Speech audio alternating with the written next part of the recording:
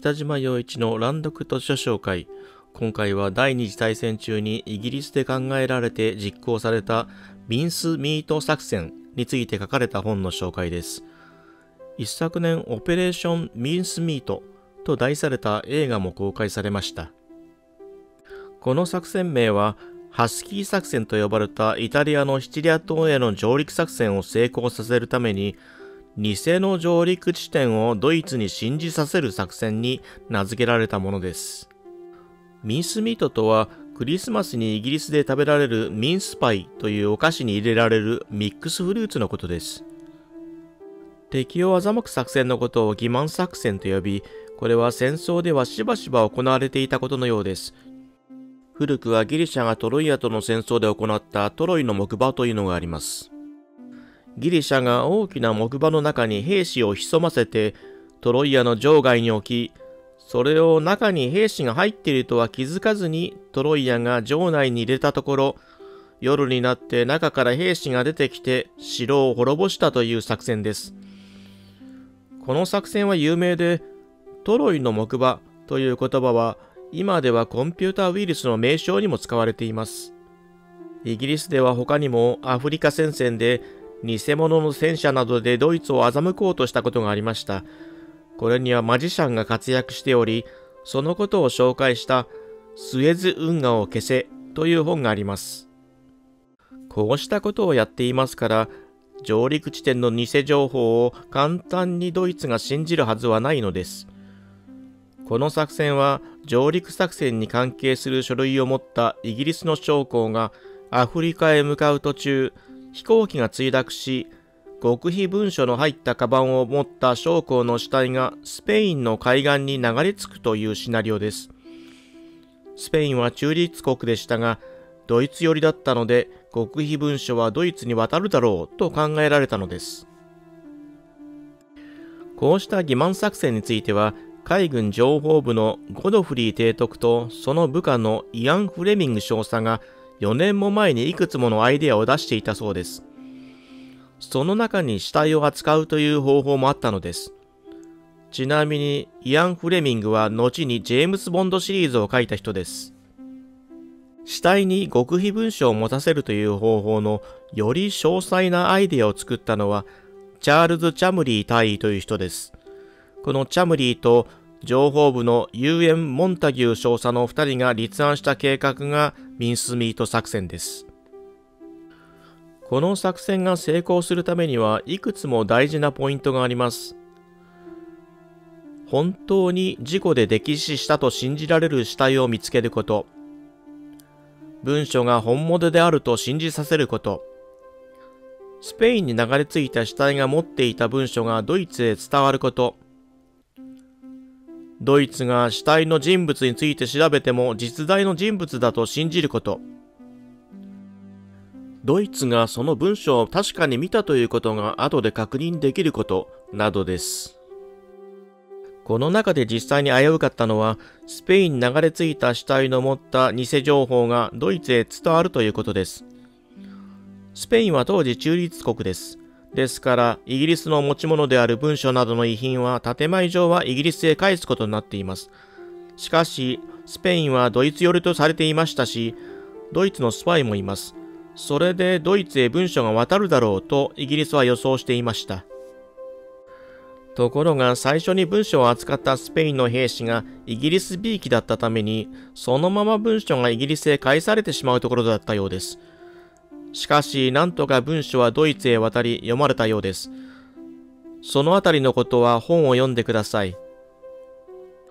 文書は数日後、イギリスへその他の遺品とともに返されます。機密文書も開けた形跡がないように、封印に使われたローもそのままです。もし本当に文書が読まれていなかったら作戦は失敗です。しかし、返された封筒の文書には、同封されたまつげがなくなっていました。そして封筒の底から文章を抜いた形跡がある実験でわかるのです。その方法も本を読んでください。ここでは言いません。その後、実際にドイツ軍で部隊の移動が始まります。ゲッペルスは偽情報を信じなかったらしいのですが、ヒットラーは信じたのです。さらに言うと、ドイツの中にはヒットラーに反発し、早く戦争を終わらせるために偽情報ではないかと思いながらも、本物の情報だとしてヒットラーに伝えていた人物もいたようです。結果的には上陸作戦は成功します。もちろん犠牲者は出ましたが、もしドイツが騙されずにギリシャやサルディニア島ではなく、シチリア島に主力部隊を集結させていたら、双方にとてつもない犠牲者が出たことでしょう。連合軍側はシチリア島占領に90日かかると考えていたのですが、8月17日に38日間で占領を完了できたのです。連合軍はここを足がかりにイタリアを攻めて、9月にイタリアは降伏します。チャーチュルへ送られた電報に、ビンスミートは釣り竿から糸や重りまで全て丸飲みされたというものがあります。ミンスミート作戦は成功だったと言えるでしょう。ミンスミート作戦の全貌が明らかにされたのは1996年になってからのことです。その前の1953年にこの作戦立案の中心となったモンタギューが書いた存在しなかった男という本が出され、それに基づいた映画が2年後に作られて、本も映画もヒットしたそうです。ちなみにこの映画の DVD の日本語版はありません。モンタギューは作戦が成功してからすぐにこの作戦のことを本に書こうとしたのですが、情報機関がこれを許可しませんでした。モンタギューは作戦のことを公開する許可が下りないので諦めていました。すると突然、情報部の方から許可が下りたのです。なぜ突然許可が下りたかというと、作戦の内容が噂として世の中に流れ出していたからです。これまで許可が下りなかった理由は、当時中立国であったスペインとイギリスとの関係が悪化するのを恐れてのことだったのです。スペインが実際にはイギリスを騙して秘密書類をドイツに渡していましたし、そうなることをイギリスは最初から読んでいたのです。しかし、それが明らかになってしまうと、イギリスとスペインとの信頼関係が損なわれると判断されていたようです。モンタギューが秘密を漏らしたわけではありません。では誰が作戦の内容を漏らしたのでしょうか？それはどうやらイギリス首相のチャーチルだったようです。そこで噂話がこのまま広まるのを放っておけないと情報部は判断してモンタギューが本を書くことを許可したようです。しかし内容は情報部に検閲を通して出すことになっていたので、死体の出所など、まだ秘密にしておきたい内容は伏せられて書かれたようです。1996年になって公文書の公開がされるようになり、そこで初めて作戦報告書などが表に出たのです。この本の著者はモンタギューの息子に会い、モンタギューがずっとベッドの下にしまっていたカバンを見せてもらいます。その中には作戦報告書の写しのほか、いろいろな資料があったそうです。それらと公開された公文書をもとに今回紹介する本が書かれています。公文書の公開でそれまで不明とされていた死体の正体も明らかになります。そこでイギリス政府は翌年の1997年にグリンドゥール・マイケルイギリス海兵隊ウィリアム・マーチン少佐として軍務に服す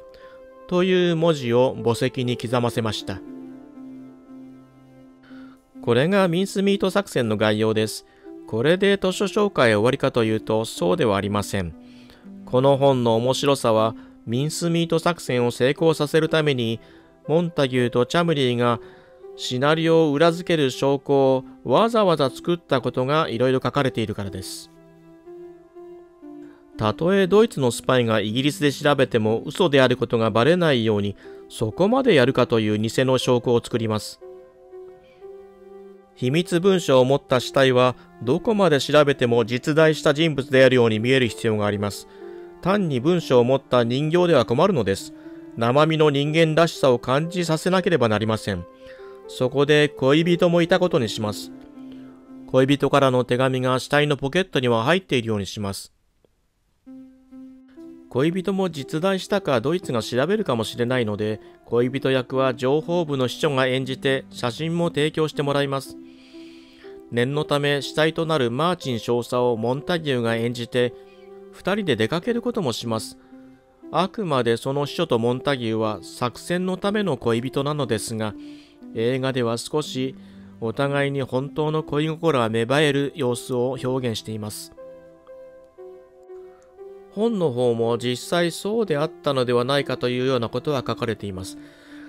しかしあくまでもノンフィクションとして資料や事実に基づいて書かれています。本だけでなく一番最初に紹介した映画もあります。ただ映画の方は本を読んでいないと分かりづらい部分があります。ですから映画を先に見てしまうと興味を持てない人もいるかもしれません。本は分厚いのですが、こちらを先に読まれることをお勧めします。まあ、今回の図書紹介をご覧になられた方は、スペインとイギリスとの関係なども話しましたから、いきなり映画を見ても大丈夫かもしれません。でも、図書紹介ですから、読書をお勧めします。今回はこれで図書紹介を終わります。次回はこの本の最初にも触れたスエズ運河を消せという本を紹介します。